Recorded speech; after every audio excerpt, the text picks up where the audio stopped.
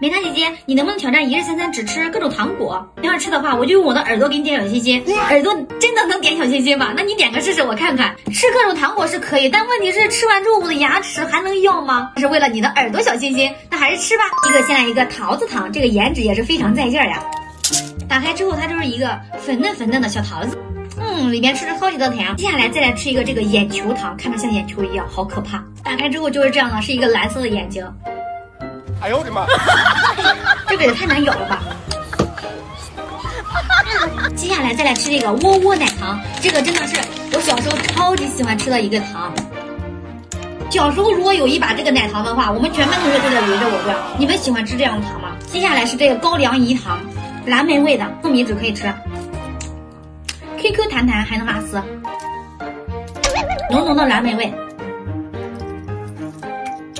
彩虹糖可是我最喜欢的水果糖，满满的水果味，真的超爱吃。你们最喜欢吃的糖果是什么呢？